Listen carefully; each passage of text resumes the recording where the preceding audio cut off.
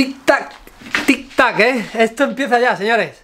¿Qué tal amigos? Muy buenas, ¿cómo estáis? Pues hoy vamos a hablar de una carrera que va a dar comienzo en apenas... A ver, depende de cuando suba el vídeo, pero en apenas 4 o 5 días desde que veáis el vídeo va a dar comienzo la Ultra Trail Sierra del Bandolero 2023. ¿Y qué ocurre con esta carrera? Pues bueno, pues a día de hoy hay una gran incertidumbre de qué meteorología vamos a tener. ¿Por qué? Porque un día pone que va a llover mucho, otro día pone que va a llover poquito, otro día pone que no va a llover y aquí hay una incertidumbre brutal sobre la carrera, sobre la climatología que vamos a tener y vamos a ponernos en la peor de las situaciones para ver de qué manera afrontaría yo la carrera por mi experiencia que ya he tenido y que he vivido alguna bastante mojada. ¡Qué frío! Ya lo dije, aquí siempre hace mucho aire y mucho frío.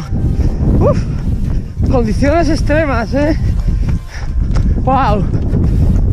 Uf, las manos heladas, las piernas heladas. Oh, pollitos, vamos a quitarnos esto ya cuanto antes, ¿vale? Porque ¡buah!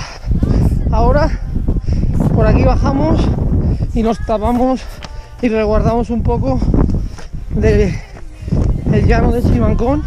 Joder, cómo se nota. Ya. Uf. Esto sí es Sierra de Cádiz bandolero, señores. Wow. Me preguntáis mucho si vamos a estar allí con la tienda. Pues todavía no sabemos qué vamos a hacer. Porque si llueve, allí nosotros no podemos estar. Porque como es al aire libre, todo el material de nutrición, de textil, de demás, se estropearía todo y no vamos a poder estar en caso de que llueva. Pero en caso de que no llueva, estaremos allí porque tenemos muchas ganas de veros a todos vosotros. Y sobre todo, luego intentar hacer un seguimiento de la carrera a la gente que estamos entrenando, que estamos muy contentos de todos ellos. ¿Y cuál es la palabra que más se escucha ahora? Cagómetro, cagómetro, cagómetro, cagómetro, cagómetro. Esto de incertidumbre de no saber el clima va a ser un poquito caótico hasta que se dé la salida. Preocupéis que vamos a hablar de ello. Creo que muchos nos hemos mal acostumbrado a que Bandoleros haga buena temperatura porque creo recordar así a bote pronto que 2018, que fue el último año que llovió, que se tuvo que neutralizar la carrera porque el río el Majaceite se había desbordado, hace buena temperatura. Y bueno, vamos a ponernos en el peor de los casos. En el caso de que llueva, mi recomendación más importante es que uses una membrana. Búscate una membrana, esta te va a proteger muchísimo de la lluvia. Vas a estar seco por dentro, aunque te esté cayendo agua y tenga la sensación térmica de que está lloviendo, pero una membrana te puede salvar porque vas a estar mucho más cómodo corriendo no vas a tener esa sensación de frío tan grande, ni vas a estar empapado en todo momento. Así que búscate una membrana, estás a tiempo, vete de calor, la compras allí, pim pam. Como tienes 60 días para la devolución, si la usas también la puedes devolver, que esto lo sabe poca gente. Y nada, pues utilizar esos recursos por si lloviera. También a tener en cuenta es búscate una bolsa estanca. Y me dirás,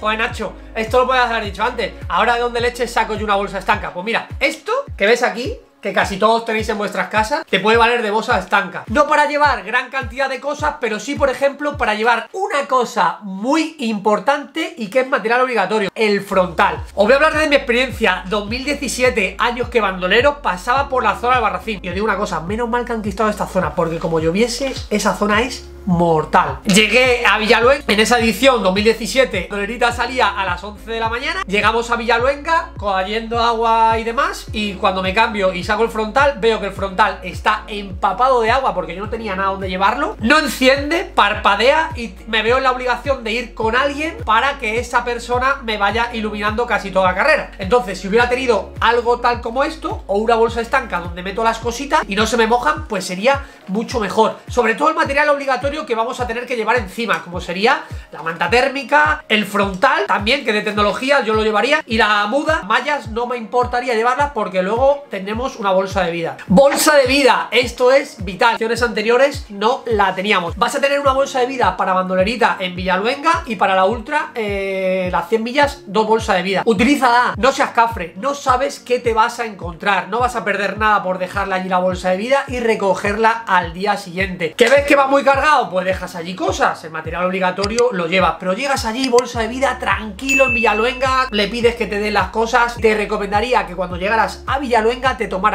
un recuperador. ¿Por qué un recuperador? Pues bueno, pues un recuperador te va a aportar los hidratos de carbono para seguir continuando, te va a aportar proteína, te va a aportar minerales y vitaminas. Y viene muy bien. El año pasado, esto que os estoy diciendo, lo incluimos con el segundo y el tercero de la general, que son los Meiji, que apostaron por nosotros a la hora de realizar las compras. Que por cierto, si tú quieres, puedes comprar todavía algo que te lo enviamos a casa por si no estuviéramos allí, aunque a lo mejor estamos. Pues los Meiji apostaron por nosotros, hicimos esa táctica de en Villaluenga meter un recuperador y la verdad que el resultado que les dio fue brutal, porque acabaron la carrera súper enteros. Calculamos al milímetro lo que tenían que tomar en cada momento y en cada punto. Y la verdad que funcionó. Así que si en alguna otra carrera quieres preguntarme, me escribes por el WhatsApp y lo planteamos. Importante también, no te fíes del frío. Este fin de semana ha nevado en la sierra. ¿Que no te lo crees? Pues mira las imágenes. Ha caído un montón de nieve. Yo cuando lo vi por la mañana digo, esto no puede ser, esto es de archivo. No, no, no. Era de este fin de semana. Entonces no te fíes de que no vaya a hacer frío,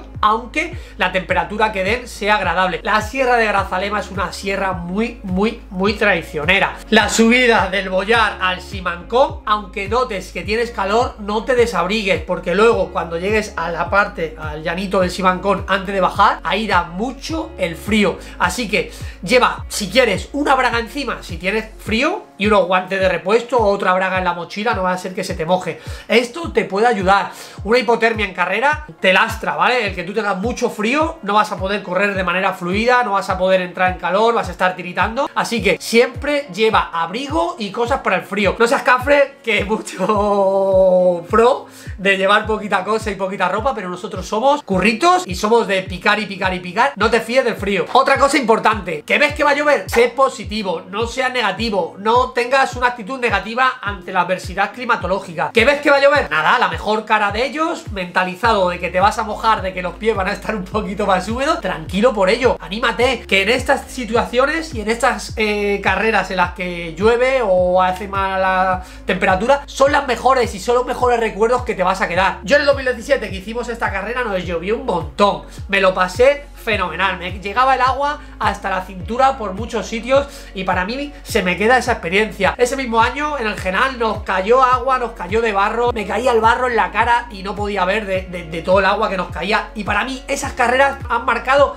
un antes y un después y me encantan. Mentalízate, si llueve, positividad y vamos a por todo lo que hayas entrenado para allá duro y a disfrutar, ¿eh? que esta carrera es de las mejores que puedes correr. Ya hemos hablado del frío, ¿vale? La noche puede ser que sea muy fría, no te fíes. Que llegas a Villaluenga, que está anocheciendo, que está atardeciendo, nada. Bolsa de vida, te cambia de ropa. Si tienes asistencia en los avituallamientos, te pueden asistir y te lo pueden dar. Yo me pongo en el caso de que tú vayas solo. Te cambia de ropa, empieza ya cambiado, una eh, capita más de calor, tira y tira y tira. La Sierra Grazalema, aunque parece que hay pocos kilómetros, no cunden, se hacen muy largos, se hacen eternos de un avituallamiento a otro. Así que lleva abrigo, protégete del frío, que la noche puede ser muy dura y se puede pasar muy mal. Ojalá no pasemos frío, ojalá no llueva tanto. Y lo primero, que vosotros podáis disfrutar de la carrera como habéis imaginado y que yo pueda estar allí también.